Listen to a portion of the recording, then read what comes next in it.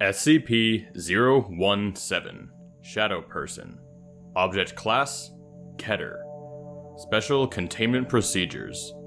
SCP-017 is contained in an acrylic glass cage 100 cm by 50 cm by 50 cm, centrally suspended in a concrete room measuring 6 meters by 6 meters by 4 meters.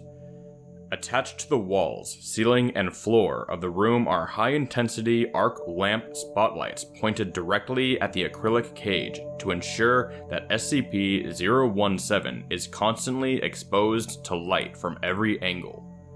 Personnel assigned to the SCP 017 control room are to monitor the functionality of the spotlights and the emergency generator system and call for maintenance immediately upon knowledge of a burnt out lamp or an issue with the generator.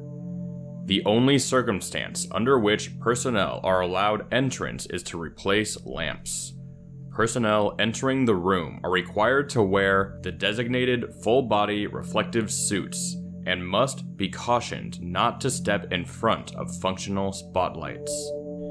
Description SCP-017 is a humanoid figure approximately 80 centimeters in height, anatomically similar to a small child, but with no discernible identifying features.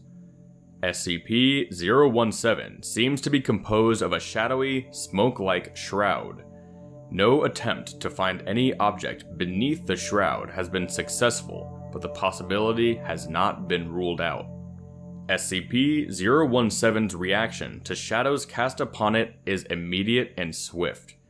SCP-017 leaps at the object casting the shadow and completely encloses it in its shroud, whereupon it returns to its normal size, leaving no trace of the object behind. Additional notes.